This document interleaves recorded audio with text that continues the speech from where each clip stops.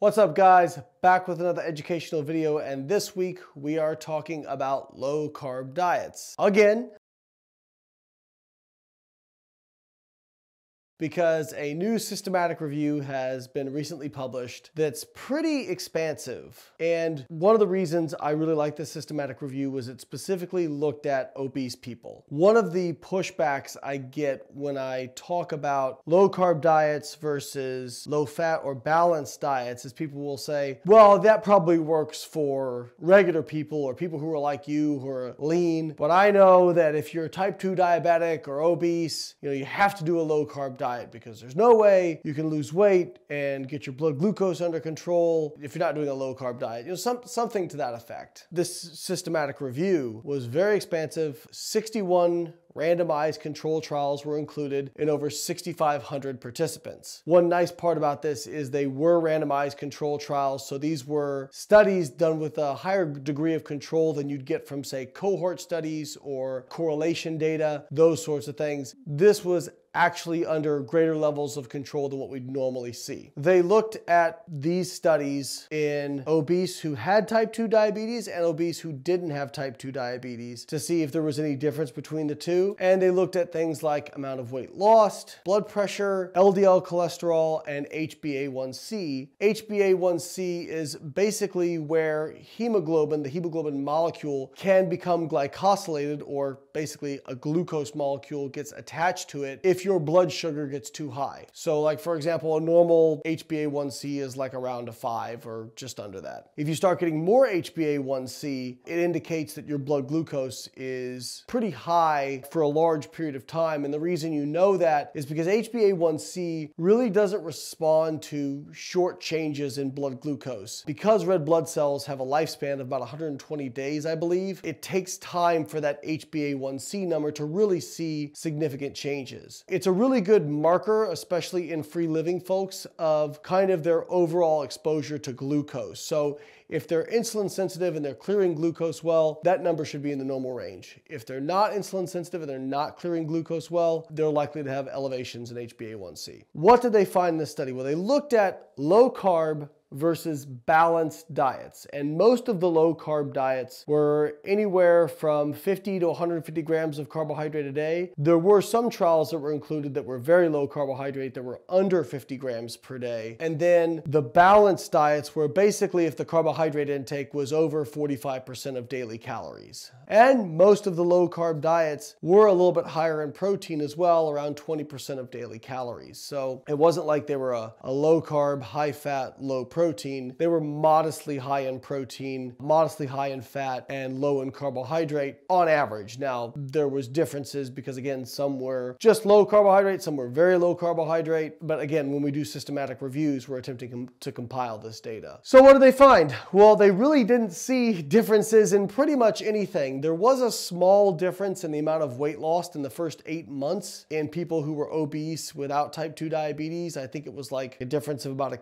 1.2 kilos. But when you consider that low carb diets cause up to like two and a half kilos of water loss, that's not really a significant difference. And it didn't really impact any of the blood markers. So when they looked at people and their HbA1c, their blood pressure, their LDL cholesterol, they didn't really see any differences in any of the markers they assessed. And that was true for obese without type 2 diabetes and obese with type 2 diabetes. So what does this data mean? These data are trying to synthesize large numbers of studies. Large systematic reviews like these do tend to drown out a lot of small differences. But again, we do see these in very tightly controlled studies, especially when calories are equated. So calories, I don't believe were even equated in this study. In studies where they equate calories, we really don't see a lot of difference between low carb and other studies.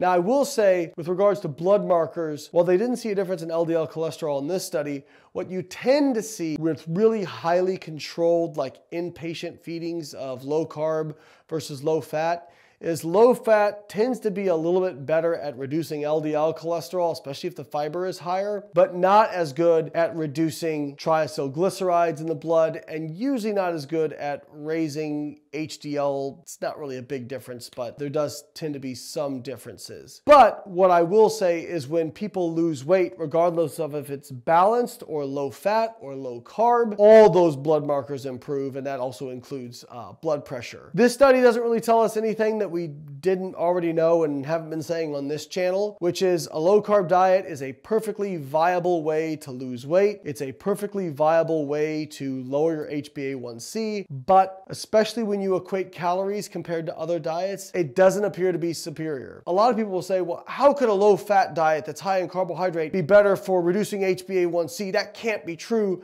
because you're getting an insulin spike and blood glucose spike after every meal. And again, this boils down to people not understanding the difference between an acute response versus a long-term response. Just because you have a blood glucose spike over a few short hours doesn't really mean anything for long-term blood glucose control. A, great comparison to that would be when you exercise, you increase inflammatory markers, you increase reactive oxygen species, you increase your heart rate, you increase your blood pressure. All of those things are things that we would consider bad, but it's for a very short period of time. And so on the long term, those markers actually improve. I would really advise you against putting so much stock in what happens after a single meal. That's why people with continuous glucose monitors who are watching their blood glucose after every meal, again, it doesn't really make a difference on long-term outcomes as long as the groups in terms of the diets we're comparing are isocaloric and people lose similar amounts of weight. Again, I'm not saying that you shouldn't do a low carb diet. I'm not saying you can't do a low carb diet. It is absolutely a viable tool for improving improving all of these health markers and a viable tool for losing weight, but based on the preponderance of evidence, does not appear to be superior for weight loss or improving most blood markers of health when calories are equated between diets. So what does that mean? If you are somebody who would like to lose weight or you believe that losing weight would help improve your health, then you should try and find the diet that feels the easiest to you to adhere to. So you have to use some form of restriction, whether it's calorie counting, whether it's points, whether it's uh, low fat, low carb, intermittent fasting. You have to practice some form of restriction. But the great thing about what the data says is you can pick the form of restriction that feels the least restrictive for you as an individual. And that is what I advise, and that's what the data says is going to be best for you as an individual. If you're not sure how to set up your nutrition, we have a nutrition coaching app called Carbon Diet Coach, which has and offers all kinds of different dietary preferences, whether it's low carb, ketogenic, low fat, balanced, plant-based.